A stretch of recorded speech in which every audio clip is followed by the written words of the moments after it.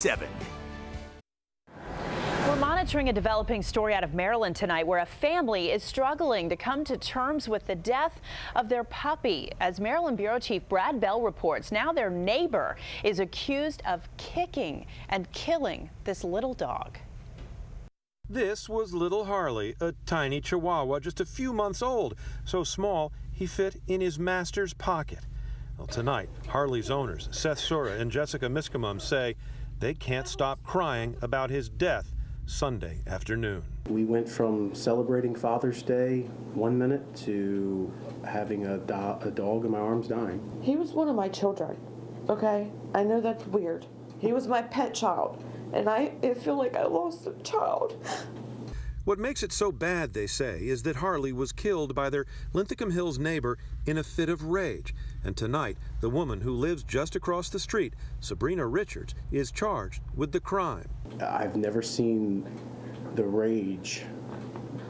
I've never seen someone so enraged that would do that to such an innocent creature. They say it started when an angry Richards barged into their house looking for her husband. They told her to leave. Now, Seth and Jessica say before they could get their door closed, the little dog ran out and was here on the porch. They say their neighbor kicked it so hard that little Harley landed all the way down here on the yard where now they've set up a little memorial.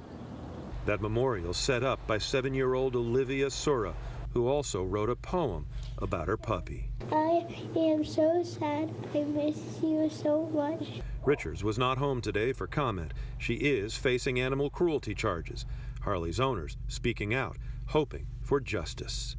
In Linthicum, Brad Bell, ABC 7 News. That may be the most awful thing we've had this week. Terrible. That's crazy.